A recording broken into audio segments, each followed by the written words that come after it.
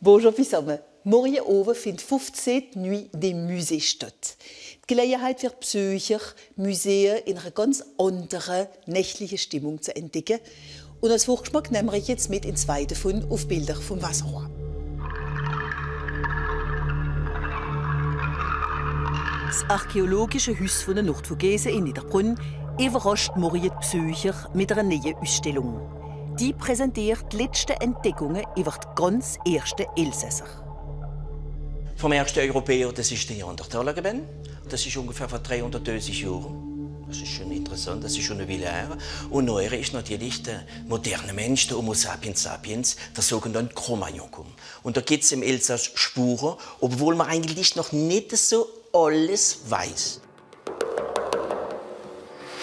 Ausgrabungen in Mützig im Unterland und Murschwiller und Wollschwiller im Oberland haben bewiesen, dass die beiden Menschenarten hier 10.000 Jahre lang zusammengelebt haben. Neben dieser Ausstellung schenken die Dauersammlungen vom Museum eine wirkliche Zeitlinie, angefangen mit der Steinzeit. Die Neusteinzeit, wie man sagt, ist gekennzeichnet durch die Steinbeile, die sind geschliffen auf einem Polissoir. Das ist abrasiv, ein Sandstein. Und mit diesen Objekten, mit diesen Werkzeugen sind die ersten Häuser gebaut worden. Vor ungefähr 5000 bis 7000 Jahren bei uns im Elsass oder sonst wo. Das kleine Museum bietet jährlich sämtliche Animationen für anderthalbtausend Schulkinder. Nach der Urgeschichte taucht man in die Römerzeit mit unzähligen Gegenständen und Statuten vom Gott Merkur. Niederbronn weiß man, ähm, die Römer sind ab dem ersten bis im 4. Jahrhundert gewesen, haben Bäder gebaut, aber nicht nur. Und äh, es gibt verschiedene Spuren noch, wenn am heutigen Tag gebaut wird, wo, die, wo Elemente und Mühre aus dieser alten Zeit ans Licht kommen. Die letzten Säle vom Museum schildern das Mittelalter und seine Burgen. Morgen oben werden zwei Vierungen angeboten, um halb acht und halb zehn. Und man darf auch ganz frei im Düsteren rumlaufen. Ich jetzt selber kommen, komme sogar angesprungen. Das ist eine ganz andere Atmosphäre. Wir haben es einmal schon mit der Taschenlampe gemacht, was wir jetzt dieses Jahr nicht machen.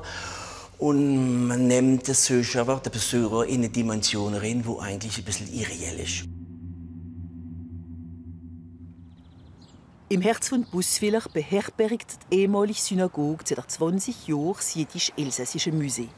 Das Gebäude hat so abgerissen werden, aber ein gebürtiger Buswiller und Urbanistikprofessor, der Gilbert Weil, hat es gerettet, sich die ganze Museografie erdenkt und inwendig alles umgemodelt.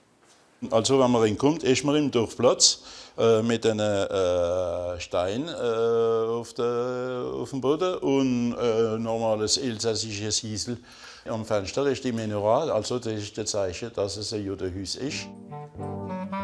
Der Besucher schlendert durch Gänge und Säle und sogar längsere Judengasse, wie man sie in jedem Städtel gefunden hat. Es ist ein Spaziergang durch die Zeit zuerst, durch die, die Histoire und durch die, das ganze Leben von den Juden von Buxwiller oder vom Nordelsass.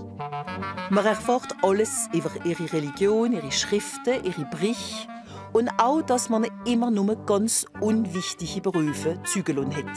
So kleine Occupations vernommen, nicht, nicht verleben, ver überleben. Viehhändler, äh, Schrothändler, äh, Brillenhändler, Scherenschiefer, äh, Nähmaschinen, äh, Matratzen machen. Es ist auch vom Zweiten Weltkrieg, von Widerstand und Neugeburt.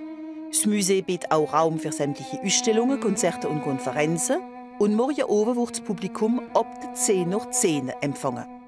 Dann ist der Chavez, der jüdische Viertag. Und da darf man gar nicht arbeiten und darf man nichts machen, bis das Nacht ist. Und nun, am Ende vom Morgen können sie eben zu uns kommen. Wenn sie brav sind, bekommen sie sogar einen heißen Kaffee oder, oder einen warmen Tee. In den 40 elsässischen Museen machen so morgen oben ihre Tiere auf und der Eintritt ist frei.